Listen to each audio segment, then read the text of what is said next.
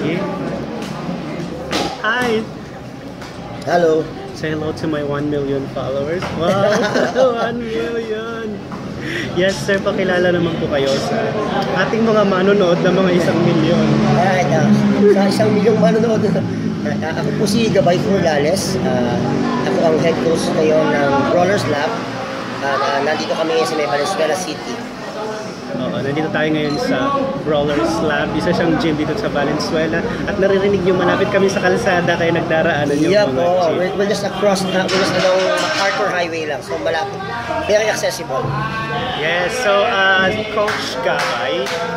Gabay, gabay. Gabay, gabay. Gabay, as in yung Ah, Tagalog word na gabay. Nagabay uh, sa English guide kasi I, I do away na with yung mga traditional na tawag sa akin dati sa sa training. Kasi nagpa-practice ako before ng mga traditional martial arts. Mhm. uh, when I teach a Japanese martial arts tawag sa akin sensei.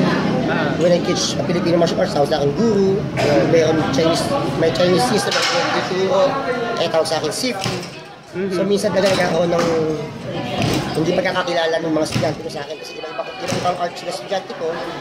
So hindi nila alam na ako na pala yung pinag-uusapan nila. So what I did was I gave up yung mga titles ko and I Marami claimed siyang title. Oh, yung yung yung mga yung naging sensei, sifu, guru. Uh, so ngayon, I just claim yung yung word na gabay kasi ang pakiramdam ko that's what I am lang.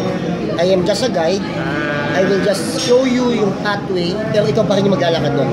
Pero yung gabay, hindi pala siya yung, hindi, yun yung given hindi, name. Hindi siya hindi, hindi. Hindi siya birth certificate Hindi, hindi, hindi. That's a title. Title. Unique yun ha. Kailangan Yeah, nakamit tong gabay. Actually, yung nga sabi ko nga, uh, I think I'm the very first one to use that title. Gabay. Okay po. Ngayon, kwento niyo po yung history ng Brawlers Lab. Umpisa natin sa pangalan. Bakit siya pinangalan ng Brawlers? Uh, Bakit siya lab? Oo. medyo oxymoronic yung ano eh, oxymoronic yung dating. ha? Malalim yun, oxymoron. yung, Spell. yung, yung brawler kasi is parang somebody na who rely on good strength. Ah, parang power player lang siya. Pero yung laboratory is a place of testing your skills eh. It's a place of knowledge eh. So, oh. so medyo nakakatuwa na hindi po kay power player ka, hindi ka na dapat nag-iisip. Aha. O hindi porke nag-iisip ka, dapat i-give up mo na yung ability to train your body to make you, make you stronger. Mhm. So yun yung yun yung nag-idea kaya naging Brawlers Lab siya. Konting history po, kailan o We nag-umpisa? ang- opened up yung first na facility natin. Uh, it's technically, uh, we, we are reopening right now. We used to be siguro mga around 600 meters away from this facility lang. Uh, nag-open kami around late quart last quarter of 2014. So, nagsimula kami sa isang 70 square meter na facility. Very small. Uh, we have cage fitness, yun yung plug carrier program namin. We have uh, Muay Thai, we have boxing, we have submission wrestling. Yan lang yung program na in-offer namin.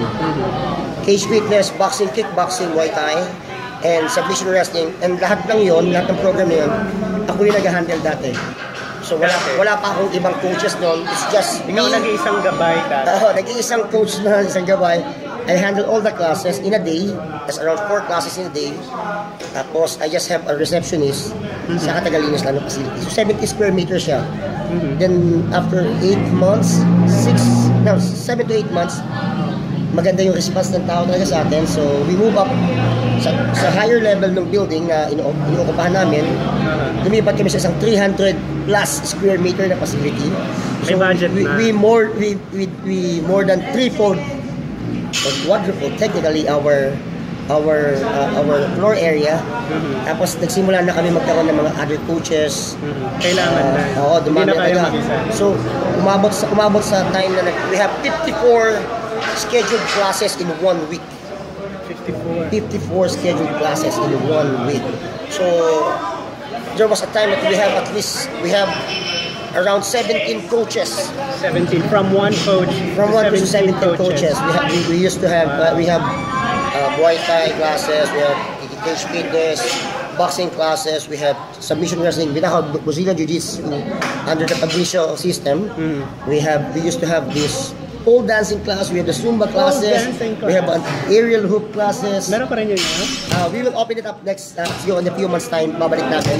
Kasi right now, nag- nagre-reassemble pa lang Kasi yun ang gusto ko, yung So, so, so, sobrang solid doon. Ah, even our MMA fighters, nagugulat sila kung gaano kahirap pole dancing.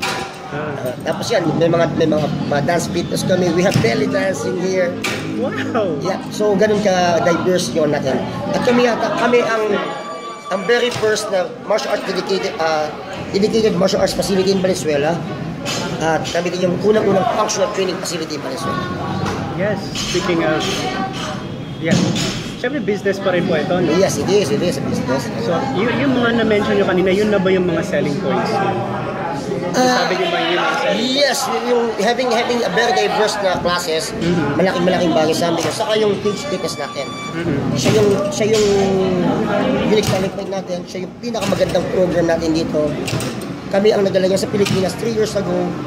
That is a fitness program from the US developed by a UFC Hall of Famer, Matt Hughes. Siya yung develop ng program. Ako nagdala niya sa Pilipinas. And right now, ini-endorse siya ni Chael Sonnen, nila Bob Saab. Yan yung, yan yung mga program na Pilipinas.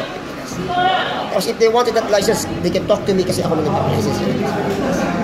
Mensahe niyo po sa mga kalaban niyo sa gym na joke lang.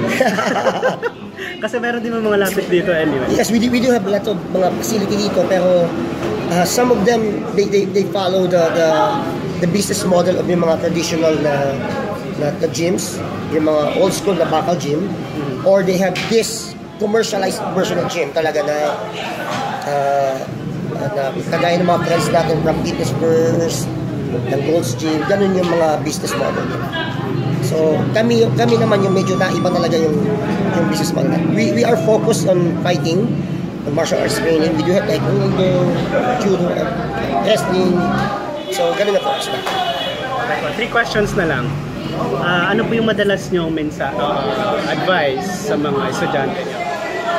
Ah, advice sa estudyante. Well, if, if I, I, I'm very fond of saying sa mga estudyante ko na the only way that they could learn something is to keep doing it. Uh, you, you, need, you need to make sure that the body remembers. Uh, minsan kasi karaniwan nakakatamad yung yung pagdi-drills yung, you, you make people na do this, do this you have to keep doing this nag-establish kami dito sa grupo namin na magdi-drill ka para matuto or magdi-drill ka dahil kailangan ka lang mag-drill eh whatever happens magdi-drill ka pa rin dahil sinabi ko pa rin. So- Sinabi ng gabay, kailangan mong gawin. So, it's up to you kung which drill yung pakikinabang na gagawin mo. Yung drill na matututo ka o yung drill na kadadaanin mo lang yung drill sa mo. So, that's one thing na we do. Tapos meron kaming katuwaan dito na madalas sinasabi namin na ah tatanong ko sa estudyante, sasabihin ko sa estudyante ko na kung pagod ka na ba? Mhm. Kung, kung pagod ka na, hindi magpahinga. Mhm. Pero bawal umayaw. Mhm. Ah, naging naging common na inside joke namin dito. Pagod ka na ba? Pwede magpahinga, bawal umayaw kasi ang umaayaw pangit. Maayaw pangit. Ano Oo, oh, naging katuwa namin yun. Hindi So, ang biruan namin dito, hihimatayin ako dahil sobrang pagod, pero hindi ako mapangit. So, that, that's just a running joke here, pero ang bottom line is you have to push yourself to the limits to achieve what you wanted in life. Okay, speaking of achieve, ano po yung goal nyo na gusto nyo ma-achieve? Is 2018? Wow, uh, 2018, uh, we're actually looking to get another 200 plus square meter na facility Akala ko coaches. on, on this on this on this on this building uh, another 200 plus square meter uh, we will open our other programs we will, we will open the belly dancing thing the belly dance the pole dancing the hoop aerial hoops we will open those. Uh, we wanted to bring in more fighters uh, sa mga local tournaments natin international tournaments. Uh, we are having this really really good tie up with with uh, with a US based na company na, na, na, na clothing gears. Uh, sorry uh, shameless plugging. That's, that's the Iron Bunny thing uh, that, that, that's that's is a really really good sponsor natin. They, they support local fighters natin sa Pilipinas uh, what else basically uh, we just want to keep doing what we do best Mhm. train compete roll Yes, in the lab. roll the lab. Okay po, last question. Um, nadadala nyo po itong martial arts nyo po sa ano, no? Pag, pagtatrabaho bilang fight director din?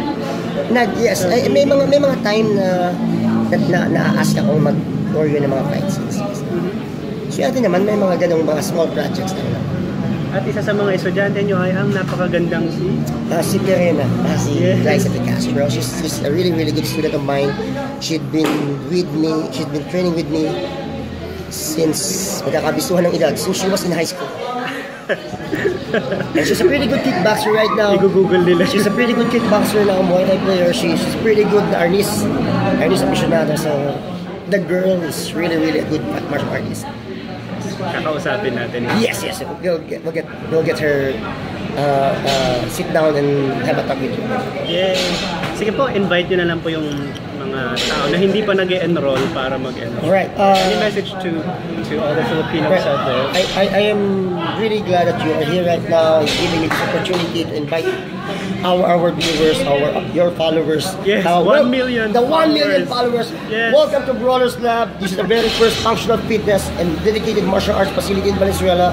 We do have several really, really highly qualified coaches here. Uh, we offer very diverse programs from combative sports to to fun to fun programs like belly dancing, pole dancing.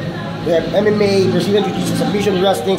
We have we are the first and the only facility that offers cage fitness. If you want li- that license, you can drop by, talk to me about it. I could I could give you the license. Uh, what else? We're just along MacArthur Highway. We're pretty near the SM Valenzuela. SM Valenzuela, just a, just a stone throw away. Uh, Number drop by. 203. 203 uh, Arthur Makati Highway. Corner, One Reyes Street. We're at the third floor of the Honda Motors downstairs. Akit lang kayo. You can train with, with, with legit MMA fighters. Have fun training with, with, the, with me and my other coaches. Trust me, this is a family. You're, you're gonna find a family here that would help you walk through fitness journey. Thank you very much. Yes, Coach Kabay! Thank you so much. Thank you very much. Appreciate this. Thank you. Awesome, man. Ay, wow, 12 minutes yun.